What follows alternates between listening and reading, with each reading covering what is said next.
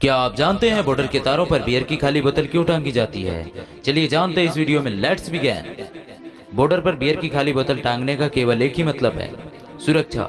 आप कहोगे कि बॉर्डर की सुरक्षा के लिए सैनिक है तो फिर इन बियर की बोतलों का क्या काम? बता दूँ गाइस अंधेरे में जब पूरे बॉर्डर की देखभाल करने में मुश्किल हो जाता है, उस समय सैनिक बॉर्डर पर बियर की खाली बोतलों को टांग दिया करते हैं.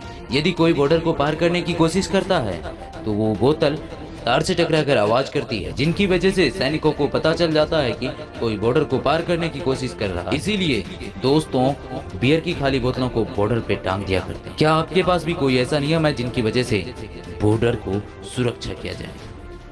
गाय जी इसी तरह के फैक्ट देखने के लिए रिच फैक्ट को शेयर सब्सक्राइब एंड लाइक करने के लिए मत ओके बाय